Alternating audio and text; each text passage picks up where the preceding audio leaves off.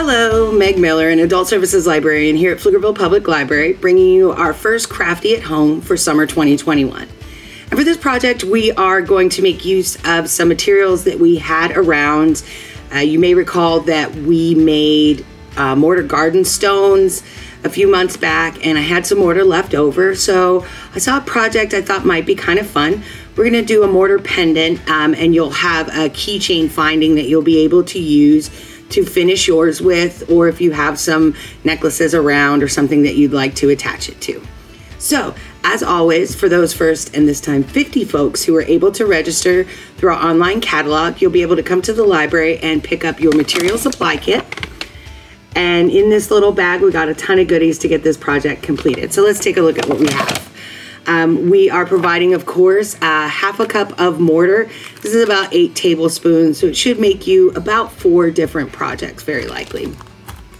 Um, in a small bag, you'll have the silicone mold that we'll use for this project. You'll have a card that has four eye pins attached to it. The um, keychain finding in there, as well as a foam brush. The foam brush is kind of a finishing. We're giving you a little bit of Mod Podge that you can use to seal all of your items. And for mixing, we're providing two little cups. You should be able to get at least two uses out of each, so that'll get you to your four projects. Um, there are also several stirring sticks, as well as a, um, this is a skewer, or there might be a dowel in there that you can use uh, for your project. We've got a little tablespoon, in this other card is the foiling that we've got. There's a gold, silver, and kind of a rose gold in there. And then additionally for decoration, we've provided a few little glass gems that you might decide to use in your project. Or if you've got seashells or beads or something else that you'd like to amp up your project with, we'd love to see it. So I think we've got all our material. Let's go ahead and get started. All right, so I've got my supplies out um, and I'm ready to mix up some mortar. Got my little teaspoon here. And really you're not going to need very much for these projects. So probably a teaspoon per project.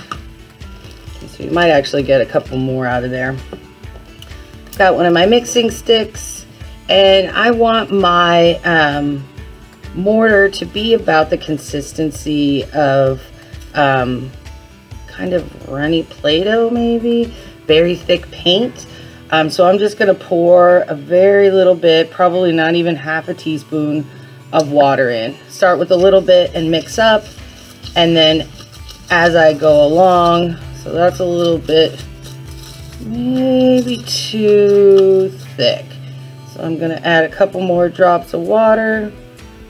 Just a little bit at a time till I get to the consistency that I really like. Oh yeah, that's much better. So onto, and I can kind of turn upside down and it doesn't fall off. So just a smidge of water to a tablespoon. Make sure it's all mixed up in there. That's perfect. All right, so I've got my silicone mold.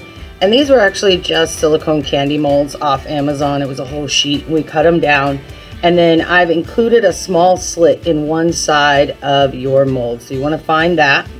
That's where we're going to slide our eye pin through so that we make sure that's really attached in the mortar and we don't have to worry about it coming out. Um, so the dowel or skewer that you received in your kit, that's what we're going to use to kind of wrap this eye pin just around, just to make a little corkscrew in it that gives the mortar something stronger to hold on to got the skewer, you'll get a really good tight corkscrew. With the dowel, it's a little bit bigger, so I'm just going to use my fingers to carefully kind of tighten that corkscrew. And we've got the little corkscrew, and I'm going to slide the eye pin of my pin, the eye of my pin, into the top, and just out the mold a slight bit. I'm going to go ahead and hold on to that while I add the mortar just so I know that it doesn't kind of move around. Although you'll have some play with this once you get the mortar in because it's not set. Um, so you'll be able to kind of work that through. So I'm just going to plop my mortar in here, tap it down some. Next little bit of mortar, making sure You can kind of lift it a little bit and drop it to try and get some air bubbles out if you've got any. That'll make sure that it's pretty solid. Take a look at my eye pin, make sure he's pretty straight and not sticking out too, too far. Slide it back in there. All right, actually I think for this one, I'm gonna put just a little bit too much mortar in there. Let's see if I can get some of this out because I'm gonna try kind of a fun thing with my little gemstone here. Do that again where I drop him a little, get it kind of in there pretty solid and set him aside for a second. Uh, the Mod Podge I used on the example to finish off and make sure that uh, my foiling and flake metallics stayed on. Um, this time I'm going to start with a little bit on my clear gem. Oh, let's see. Ooh, the green one looks kind of cool, but I like the way the clear will show the metallic through it. So I'm just going to get a little bit of Mod Podge right on the back here. Just a real thin layer. And then I'm just going to drop it right onto my foil. Push down. And when I pick it up, it's going to come right off. This stuff just loves to stick to your fingers, to pretty much everything you don't want it to stick to. So, give yourself some patience and uh, room wiggle room here when you're playing with the foiling. And if it doesn't quite go where you want it to go keep working with it. All right here we go. So I'm stuck to my finger. There we go. All right to my finger From there, now I've got kind of that metallic. I'm going to drop them right in the middle. There, push it down into my mortar. Actually. Push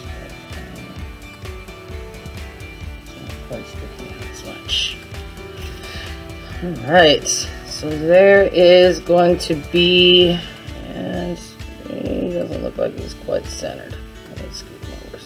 There we go. All right.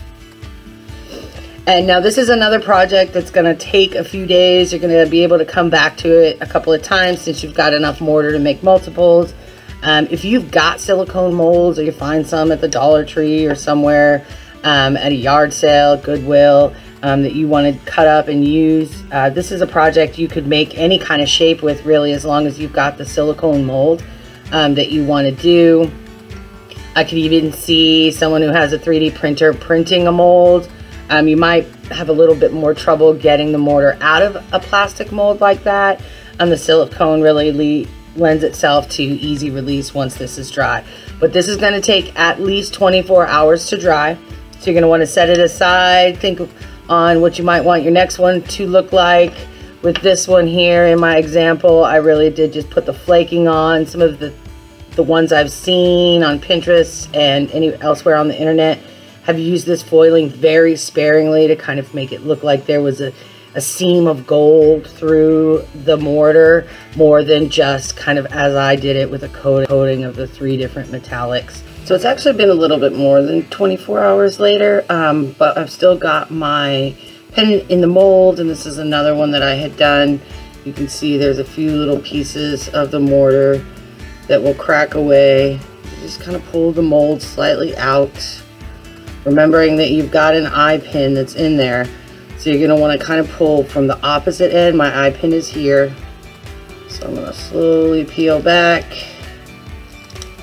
and then pull down so that the eye pin pops right out. And there I've got my very cool little gem, very sparkly in there. Um, if you've got some sandpaper, you can actually smooth the roughened edges of your pendant. So this one, pop out. This one I actually left my eye pin up pretty far. Um, so, I don't know, I might try and if I got real fancy, put a bead on there or something. Um, but it's real smooth. You can just leave it natural like that. Or you can cover, we've provided the Mod Podge to kind of seal it in there, which I think is what I'll do with this one. Um, I just wanted to try something kind of extra on the back of this little guy just to see, let's see how it works. So I actually have some Mod Podge from another project um, that's just kind of sitting around and it's actually not doing so great. It's been around for a while. Um, and some leftover paints that I also had from another project. Um, so I am literally just going to take some of this paint and add some color to my Podge. Just gonna really mix that in there. So if you happen to have, you can also try this with food coloring um, or anything else that you might have around. So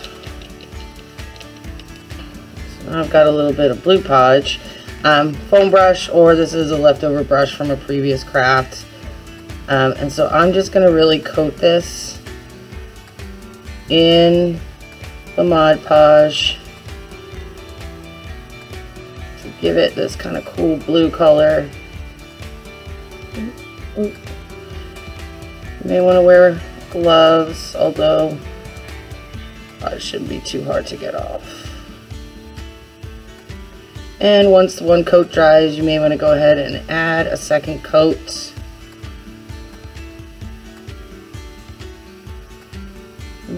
Another little spot, gotta get back up in there.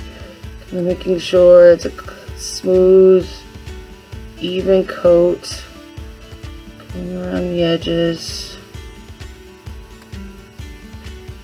Front there. Kind of get a little bit on the front.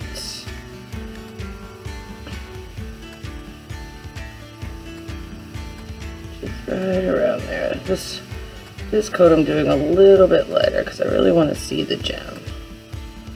And if I was taking a little longer, I would honestly let the back side of this dry before putting pot on the front side. But for video purposing, I'm just to go ahead and go all the way around. So then, now I've got my pendant sealed. I've got a little bit of color added to it. So I can just set that little guy aside. Alright. And for the other thing I wanted to show was the foiling that you got. I'm using the lid, so we'll just set them off to the side for now. Um, so on this one, I'm going to do the um, try and attempt to put on, let's see, let's go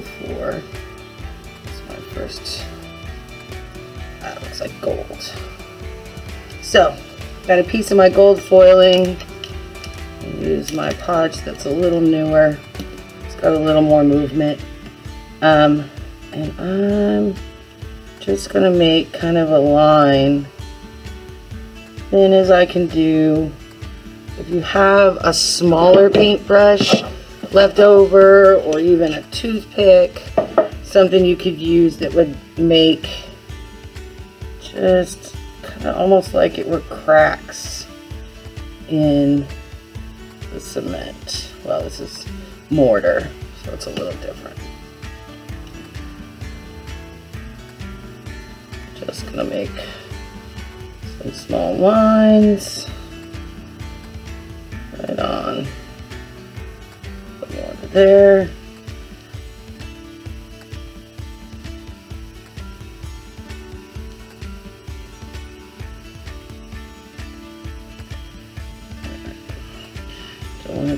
Too uniform or even or anything like that.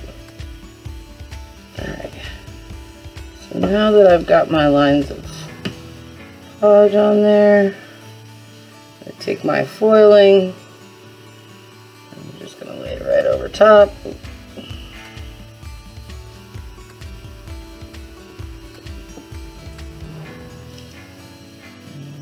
Tear a piece off here so I can come around the side.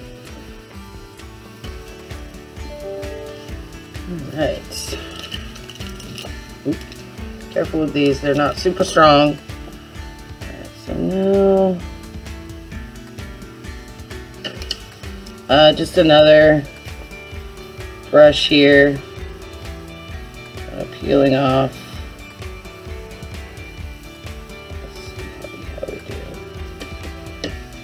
Peel off the excess that I don't really want there.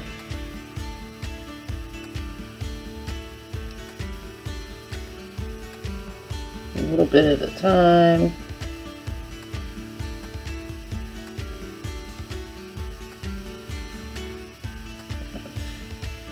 Really getting it down into the glue, but then I'll be able to brush away the stuff that is not attached.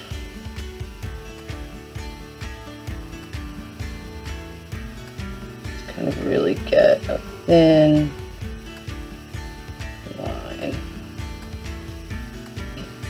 And the longer you leave it on there to dry with the podge, the better your like lines. I'm going pretty fast. So the lines, the small lines that I created really aren't kind of translating through. Um, but if like I have an area where it's starting to come off, I can grab a little more and just put it right back on.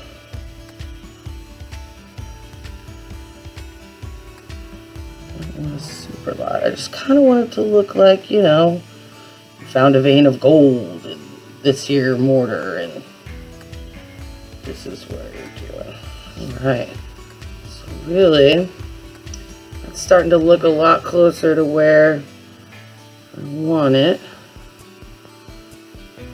And I think I'm going to let the mortar dry with the podge on it a little bit before I put on a top coat because I will have a suspicion Still got some gold on my finger.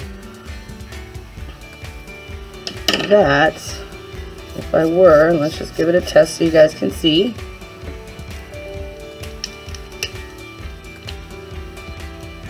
my foam brush. I'm gonna do, I'm gonna tap down a little bit where the foiling is, just so that I don't move it away from where I've got it, if that's where I like it. And when it's just the Mod Podge, you can go kind of heavier. So it looks like it might be white and you won't be able to see. Um, but when it dries, it does dry clear. So you shouldn't have a problem seeing your foiling underneath. I'm just kind of dab dabbing on a solid layer of the Mod Podge. Just really seal this in.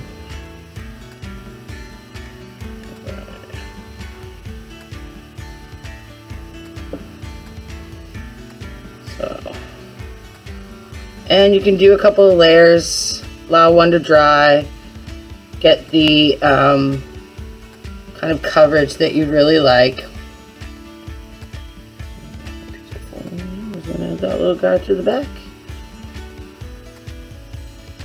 There we are. So here are my two pendants. I've added a little bit of color to this one.